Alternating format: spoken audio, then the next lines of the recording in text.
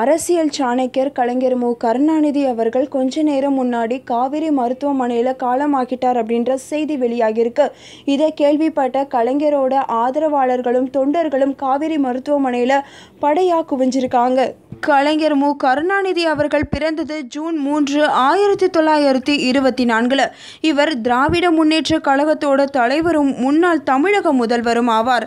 ஆயிரத்தி தொள்ளாயிரத்தி அறுபத்தி ஒன்பதில் தான் முதன் முதல கலைஞர் அவர்கள் தமிழகம் முதலமைச்சரானார். மே பதிமூன்று இரண்டாயிரத்தி ஆறாம் வருஷம் ஐந்தாவது முறையாக தமிழக முதலமைச்சரானார்.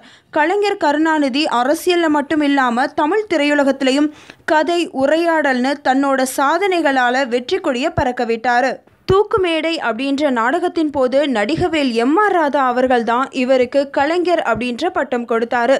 இன்னைக்கு வரைக்கும் திரு கருணாநிதி அவர்களோட ஆதரவாளர்கள் இந்த பெயரில் தான் கலைஞரை கூப்பிடுறாங்க. கலைஞருக்கு இப்போ தொண்ணூற்றி நான்கு வயதாகுது. இவருக்கு உடல்நலக் குறைவு ஏற்பட்டதால் அரசியலில் இருந்து கடந்த இரண்டு ஆண்டுகளாக ஒதுங்கியிருந்தார். கருணாநிதிக்கு அவரோட கோபாலபுரம் வீட்டில் சிகிச்சை நடந்து வந்தது. கலைஞர் அவர்களோட உடல்நலத்தை பற்றி ஏகப்பட்ட தகவல்கள் தீயா பரவினது.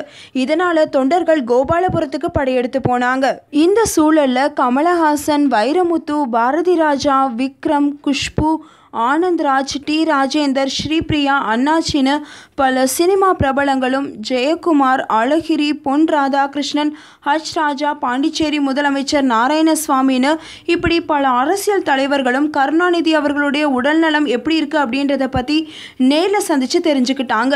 ரஜினிகாந்த் ராகுல் காந்தி மோடி கர்நாடகா முதலமைச்சர் குமாரசாமி சந்திரபாபு நாயுடு இவங்க எல்லாருமே கருணாநிதி அவர்களுடைய உடல்நலம் எப்படி இருக்குது அப்படின்றத பற்றி ஃபோனில் விசாரித்து தெரிஞ்சுக்கிட்டாங்க.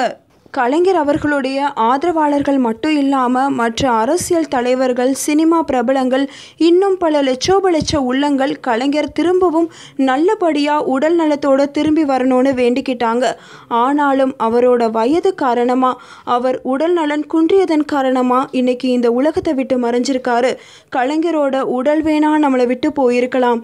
ஆனால் அவரோட அரசியல் செயல்பாடுகள் அவரோட சாதனைகள் அவரோட உரைகள் அவர் சினிமாவில் எழுதின வசனங்களும் உரைகளும் கதைகளும் அவரோட நினைவுகளும் நம்மை விட்டு என்றைக்குமே அகலாது. கலைஞரின் ஆன்மா சாந்தி அடைய இறைவனை வேண்டுகிறோம்.